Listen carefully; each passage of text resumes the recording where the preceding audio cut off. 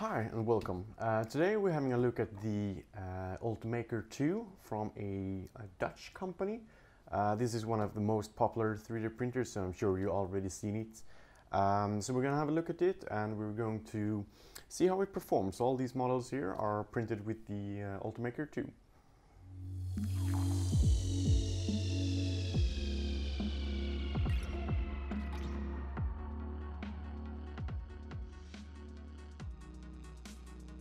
So the Ultimaker 2 is a FDM or FFF um, 3D printer. It has a very efficient build volume of 230 by 225 by 205 millimeters. So that's 10.6 liters of print volume.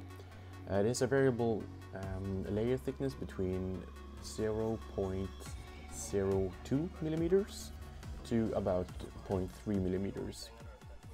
Uh, it has a variable build speed as well, so you can do from, let's say, 30 millimeter per second to a whopping 300 millimeters per second. But that's that's experimental settings. That's not something that you can do for all models.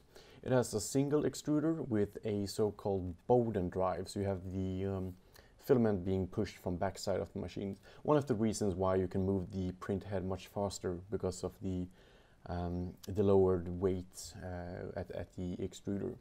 It has a 0.4 millimeter extruder nozzle in, di diameter, so your smallest line should be around 0.4 millimeters.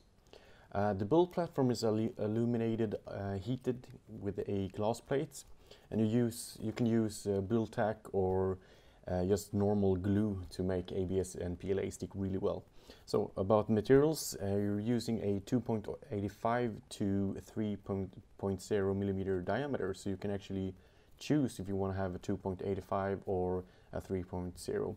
There's also been some tests with 1.75, but I wouldn't recommend that. Uh, for materials, um, you could use PLA, ABS, um, PET, among others. Uh, you would you probably have some issues with um, soft materials or uh, wooden or, or um, similar materials since you're pushing the, uh, the filaments.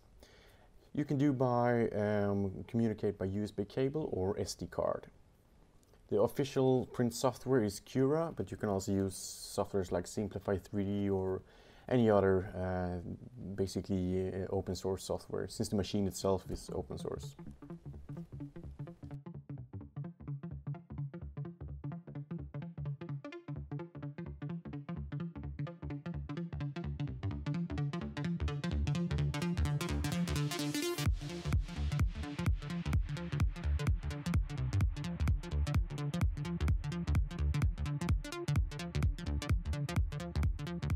All right, so to conclude this printer, um, it's a very um, price-worthy machine. Uh, delivers a great volume and it does so uh, excellently. It has a very reliable construction, so you don't really have any troubles with maintenance and calibrating the, the uh, build platform or loading filament is, is a breeze. It's really it's a really good machine and uh, there's a reason why it's so popular. It's open source, it's quick, it does great details, and it's fairly cheap.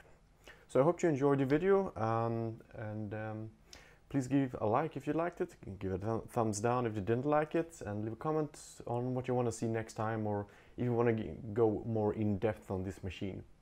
So thanks for watching, see you, bye.